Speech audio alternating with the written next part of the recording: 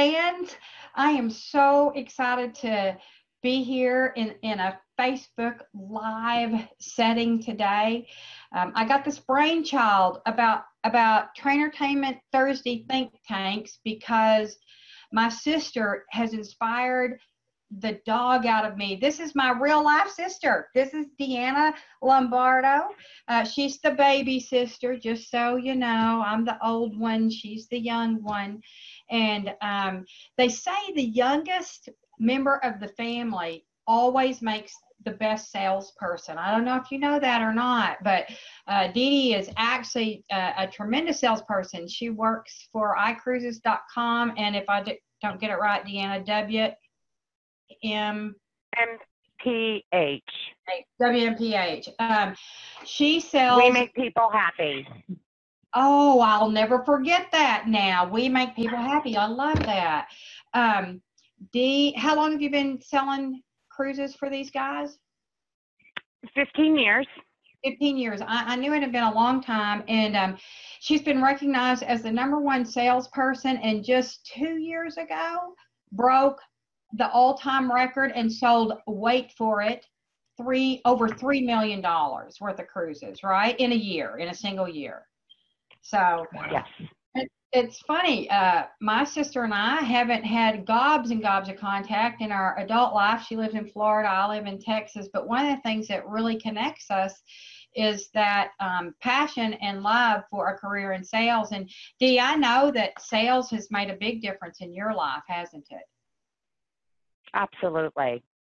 Yeah, you know, one of the reasons I, I wrote the book, People Buy from People, if you're not aware, this is a brand new book. It just launched last month. Um, I don't even know that it's been a full 30 days on the market yet. Um, but one of the reasons I wrote it is because I do think that a career in sales has a great, uh, like, affords people of all kind a great opportunity to change their financial future and to create more freedom in their lives and i especially think it's true for women i mean i've made my living and my life that way and my little sister has done the very same thing and so she was one of the very first ones to to do the pre-purchase. Oh, I swore I wouldn't cry.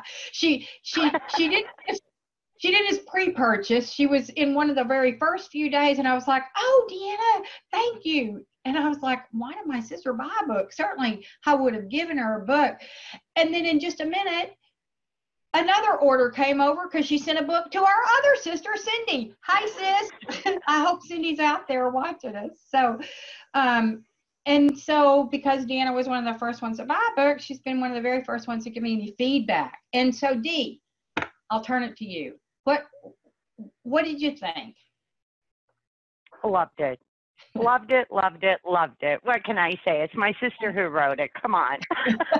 but no, honestly, that aside, even if you wouldn't have written a book and I would have read it because you gave somebody else the idea, I think it was absolutely amazing. You know, as a salesperson, we always, like you said in the book, you become in a rut. You do the same thing over and over. 15 years down the road, you're still doing the same thing. And as a classically trained salesperson, you know, um, we have scripts, which I'm not a script follower because it comes from here, the heart, because it's truly meant exactly like it says. So, um, the thing I had the most trouble with in our sales presentation of what we do is the probing stage, the investigation yeah. stage, because I'm not a prober. I'm not an investigator. That is not who I am. It's none of my business. However, in the book, when you listed it as don't be probing, don't investigate, be curious, because that shows people you care using the curiosity has made me now be able to probably pass my quality assurance, which I'm never able to do because I don't like that probing.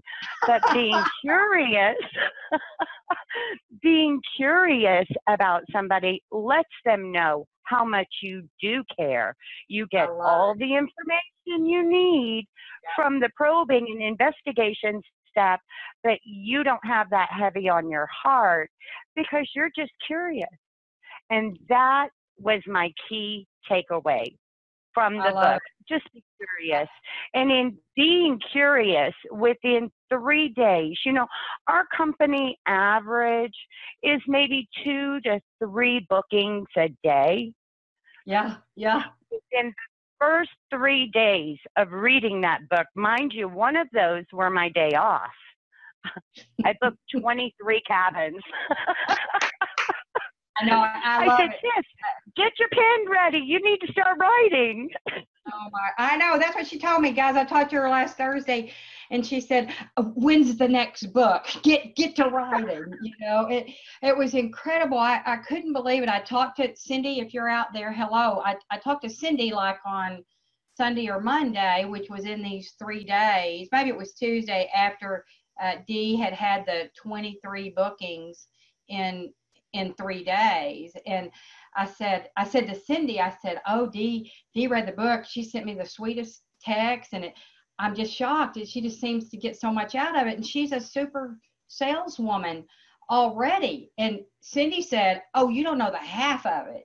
She's Beth, she booked like 20 something cruises in the three days. So man, I'm then texting Deanna and and uh, and if you follow me on Facebook, you saw the the text and uh, I, I just I, I, couldn't have been more excited, Dee. If if no one reads this book but you, I've done my job, you know, and and it just it, it's so it's so exciting to me to know that you do have so much classical training, uh, and that the curiosity phase uh, is different, feels different than that probing. It's funny, language is interesting, isn't it? Probing does sound like something you're doing to somebody. Curiosity, right. yeah, curiosity. I like the way you said it that curiosity makes it feel like you care, you know? And it does. Um, yeah, and so uh, I, I know you got a call from your um your your manager like on Monday or yeah. Tuesday, right? What, what, what was, yeah. he wanted to know what the heck was going on. You were on fire. Yeah. yeah. Wow. What's going on? You are on fire. I said, well, it's this fabulous new book I just read. As we're talking on the phone, he's on Amazon getting one for himself.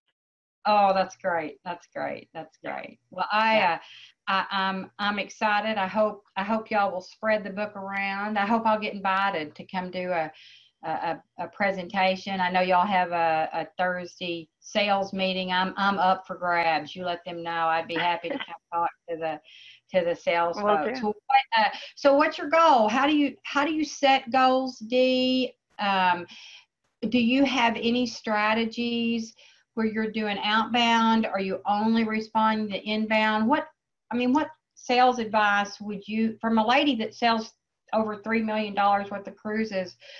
Uh, what sales advice would you give? Because I know there are a bunch of folks out there that are watching that are in that have sales as a career.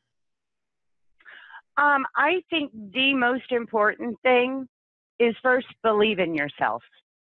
Okay. Because anything your mind can conceive and believe, you can achieve. Positive affirmations.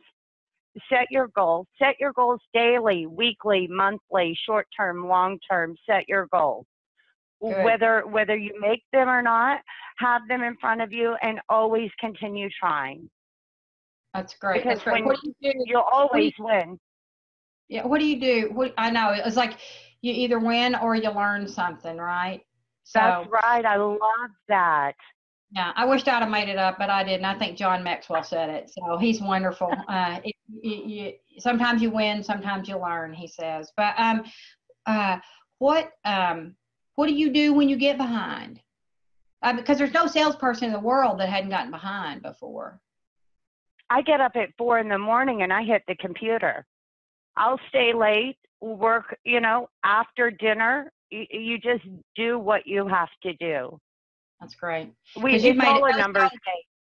Yeah. Oh, I, I agree. And anybody that says it's different, you know, there are people out there that that want to mm-hmm. act as if you know the mm-hmm. cold call is dead and old sales things don't work. And that's not true. It is a numbers game. And the salesperson who shows up is the one mm-hmm. that'll win because so many just won't. The person that shows up follows up that's the one that's going to win. So i love it. I just love love hearing you you say that. I didn't know what you were going to say to that. So do you are you do you cultivate the relationships? Do you have lots of rebookings? Do you have to reach out to those people or do they just call you? Thank you for asking. That's a great question because in the last three or four years, we have been solely focused on really cultivating our repeat and referral yeah. business. Yeah. And it was way, way low when we first started. And yep. Happy to say that I have hit over the 50% mark at this oh, point. Wow.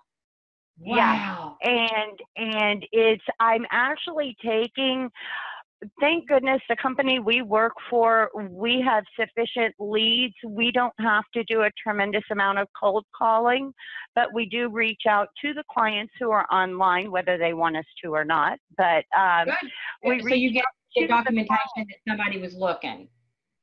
Uh, that's right. That's right. So we call up and we talk to them, and it, it's that I'm telling you, I just keep going back to it. But the curiosity of it all, it just has made the world of difference for me because I think I was stuck in that rut of the same thing all the time.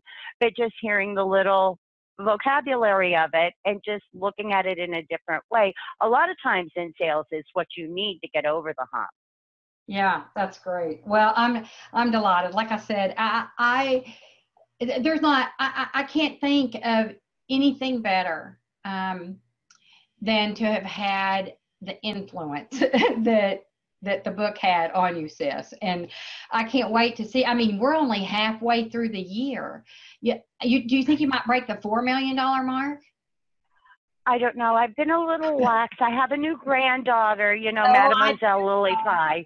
Yeah, she's delicious, and she has taken a lot of my sales time. Oh. But um, okay. luckily, yeah, yeah, luckily I've been here 15 years and, and they're not minding that I'm enjoying my granddaughter. So it is all about family.